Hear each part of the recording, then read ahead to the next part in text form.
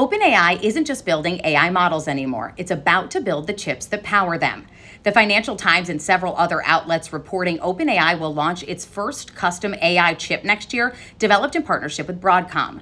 The move could reduce OpenAI's heavy reliance on NVIDIA GPUs, right now the gold standard for AI training, but highly in demand and expensive.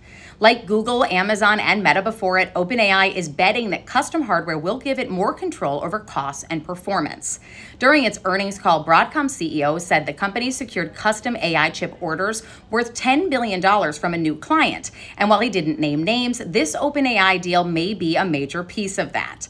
For OpenAI, the stakes are huge. Running models like GPT 5 takes enormous computing power. Training them is even more demanding. Having its own internal chip could be a game changer in scaling the next wave of AI.